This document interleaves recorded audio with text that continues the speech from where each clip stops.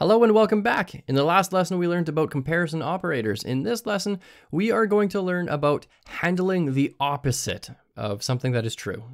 So for instance, if we have a script that asks for my name and it says, hey, if my name is Kalob, welcome me. What if my name is not Kalob? What if you're asking for a course and it is not JavaScript for beginners? Let's go ahead and do that now. Let's say var, let's just call it input, is equal to prompt what course are you taking? And then we could say with an if statement, if input dot to lowercase is equal to JavaScript for beginners. And that just makes sure that it doesn't matter if there's uh, a capital letter or no capital letter in there. Let's make this smaller. Curly braces. And then we could say, you know, do something in here.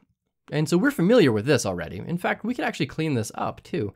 We could say uh, input lower, let's just call it that. var input lower is equal to, and we'll just create a new variable called input lower, and that just matches this one here.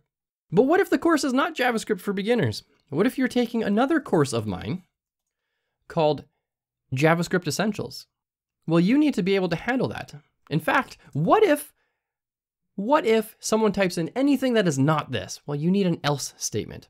So if something else, do something else. And really it boils down to something like this. You can sort of read this like a sentence too. Let's make some space here. And you could say, you know, if the course is JavaScript for beginners, do a thing. Otherwise, or else, do something else. And in fact, this is interesting. Because if we said this, this is Python. This is Python syntax. And so by learning JavaScript syntax, you're already somewhat familiar with Python syntax. So now your skills in Python, or your skills in JavaScript rather, are actually paying off because you're learning how to apply logic in other languages. It just looks a little different, but yeah, this is how it works. And so you can actually read this as a sentence. If course is JavaScript for beginners, do something. But if it's not, do something else. That's all it is. And so the world of programming is really just made up of if-else statements. It's a bunch of if statements, else statements, and a hybrid of both called an if-else or an else-if, depending on your language. So if this is JavaScript for beginners, let's add, add a welcome message. And if it's not, let's say, you're in the wrong course. Well, we need something to do here. So let's say h1. Let's give this a name of text, an ID of text. And we need to grab a node here. So let's grab this node var text is equal to document dot get element by ID text. And then let's say text dot inner HTML is equal to uh, let's do strong. Welcome slash strong to JavaScript for, let's do another strong, beginners. And so now we're writing some HTML inside of our JavaScript. And what if it's not right? Well, we could do this and just copy that because I don't want to write all of it over again. We could just say, you're in the wrong course.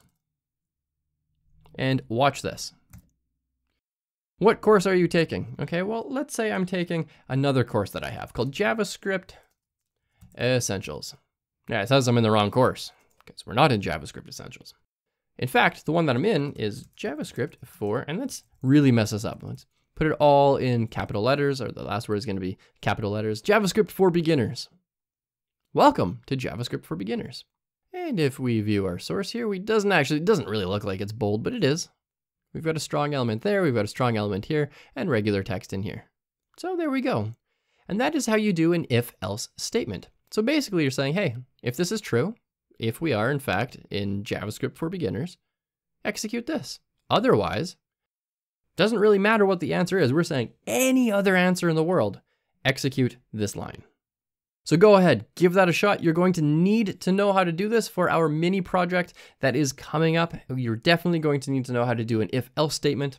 And at this point in time, if you get stuck with this, don't forget you can always leave a question down below. I am always here to help.